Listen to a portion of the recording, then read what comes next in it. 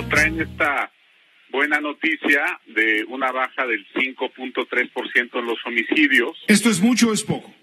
Es poco. en realidad, eh, la verdad es que el homicidio sube y baja con mucha frecuencia de mes a mes.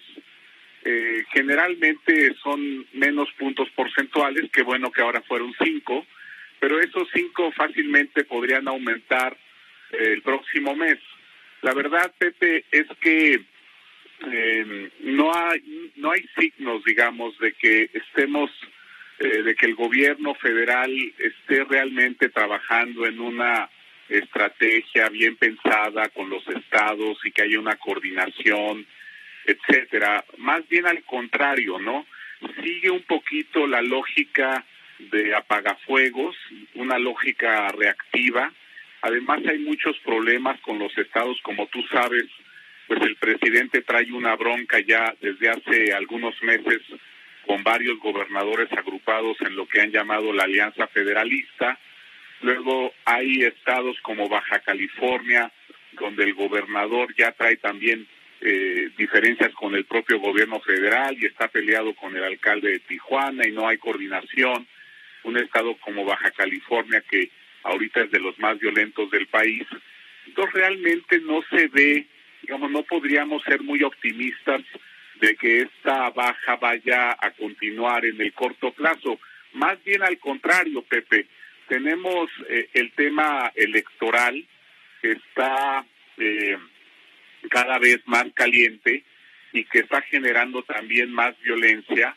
Eh, hubo un crecimiento de casi el 300% en febrero en las ejecuciones y atentados contra personajes eh, electorales, ya sea precandidatos, candidatos, funcionarios de campaña, funcionarios de partidos políticos, y esto se ve que va a seguir aumentando. Luego tenemos el tema de migratorio, ¿no? Eh, en Centroamérica se generó una expectativa de que con Biden iban a ser más eh, tolerantes y relajados con los migrantes y entonces se han eh, iniciado una serie de caravanas por territorio mexicano. Nosotros realmente pues estamos echándole muchas ganas, pero no creas que tenemos gran capacidad para detenerlas. Se nos pueden generar problemas como la masacre que ya hubo en Camargo y los abusos de derechos humanos contra los migrantes. Esto se ve que se va a complicar fuerte en los próximos meses de hemos ya, de hecho ya hemos tenido algunos eventos de motines y fugas en ahí algunos centros donde están eh, migrantes en Tabasco, en Chiapas, y eso también podría empeorar. Y luego eh, la cereza en el pastel, Pepe, es el problema que traemos con el retraso en la vacunación. Eso también nos está empezando a generar eh, brotes de violencia de conflictividad social en varios estados, este, donde están muy inconformes las personas de la tercera edad eh, que no están recibiendo vacunas. También tenemos problemas serios con personal médico eh, que están protestando tanto del ISTE como del IMSS, que están amenazando con huelgas en caso de que no sea vacunado el personal médico. Y eso obviamente, aunque no trae, digamos, directamente una enfrentamientos que causen homicidios, sí va generando un clima de tensión y de y de conflicto que puede derivar en violencia eventualmente, ¿no? Entonces, traemos varios vectores, no solamente el del crimen organizado, traemos el problema, como mencionaba, de los migrantes, traemos el problema electoral, traemos el problema de la conflictividad con las con los retrasos de las vacunas.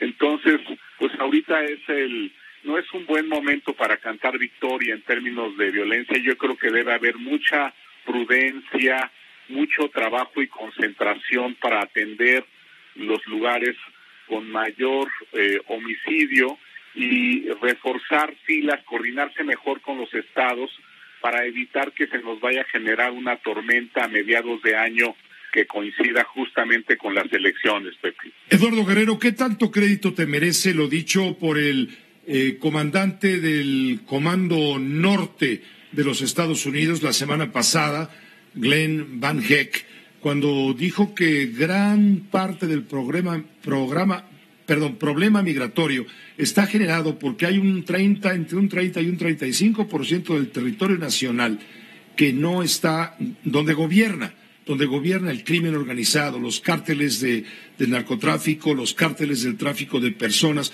¿Qué tanto merece eh, este punto de vista en, estos términos de análisis sobre la, la inseguridad que prevalece? Bueno, mira, eh, es una declaración que hizo en una conferencia de prensa. Es una afirmación que hizo sin ningún sustento empírico ni metodológico. Realmente es una afirmación eh, que no tiene mucho fundamento. Es como diríamos aquí en México, una declaración a, ojo de buen cubero. Eh, la verdad es que es una cifra desmedida. Eh, nosotros sí tenemos problemas de presencia territorial del crimen organizado, pero esa presencia no se deriva automáticamente en control territorial. ¿No? Sí hay problemas de extorsión presencial, hay problemas de retenes carreteros que atentan contra el libre tránsito. Eh, en fin, traemos un problema serio eh, con el crimen organizado, pero decir que un tercio del territorio mexicano está controlado por ellos, pues sí es un tanto desmedido y, realmente no tiene fundamento. Eh, yo diría que, en primer lugar, habría que matizarlo de control territorial y, saber exactamente a qué nos estamos refiriendo. Tiene que eh, manejarse esa frase con mucho más cuidado. Y pues la presencia del crimen organizado la tenemos en todos los estados del país, pero en, un, en, algunos municipios localizados, ¿no? el crimen organizado ni está presente en todos lugares, ni tampoco genera violencia en todos lugares. Eh, entonces hay que hay que examinarlo con más detenimiento. Yo creo que en mi próximo artículo del lunes, Pepe, en el financiero, voy a hacer un análisis del asunto eh, con los datos que tenemos en la consultora. Y, y, si quieres, con mucho gusto lo platicamos en tu programa. Esta fue una producción de Grupo Fórmula. Encuentra más contenido como este en radioformula.mx.